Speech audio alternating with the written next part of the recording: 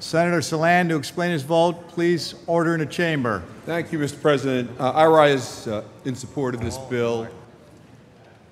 The MTA's budget currently is about $13.8 billion, expected to be 15.6 or 15.7 within the next two to three years. Uh, it grows generally well at above the rate of inflation.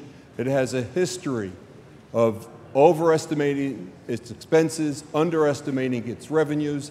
This $21 million is such an infinitesimally small part of that 13.8 billion as to have such a string of zeros in front of it as to defy the inability of that organization to come up with this money. This tax is a burden. It's a burden, remains a burden on big business, and it certainly is a burden on smaller businesses.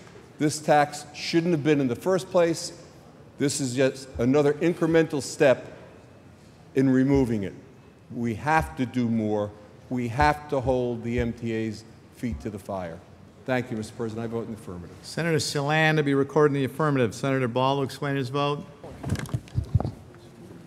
I, I would like uh, to thank uh, the leadership of uh, the Majority Leader, Dean Skelos, for al- allowing this to come to the floor. And, and uh, I know that many of us have been active on this, whether it be Senator Saland or Senator Zeldin, who, who's known as the uh, giant slayer on the MTA uh, payroll, payroll tax, and Senator Martins and, and others. We, we have been fighting this for some time.